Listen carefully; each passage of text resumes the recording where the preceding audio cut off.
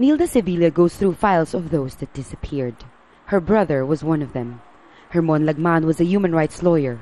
He was abducted in broad daylight 35 years ago by members of the military under President Marcos's dictatorship. There has been no sign of him since. The pain, the anxiety, they're still there, you know, because there is no closure. It's really painful that uh, we haven't found my brother, nor have we uh, found uh, justice uh, for him. Hermon was one of the more than 2,000 taken since the 1970s. Some were tortured, few were released, but most were never seen again.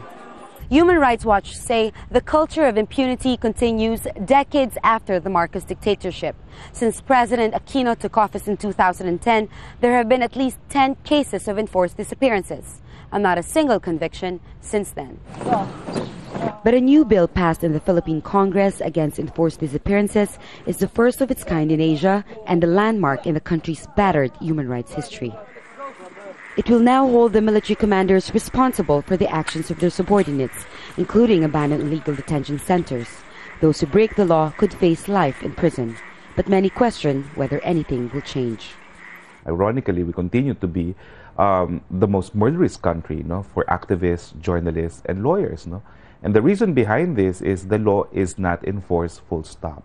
It's almost as if Congress legislate as a form of window dressing so that the international community can say that the Philippines is in fact serious in protecting the life the right to life and liberty. Our end state here is to get the support of the people. The military insists its soldiers now strictly adhere to international humanitarian law. The idea is not to make them simply comply but for them to understand why we have to comply.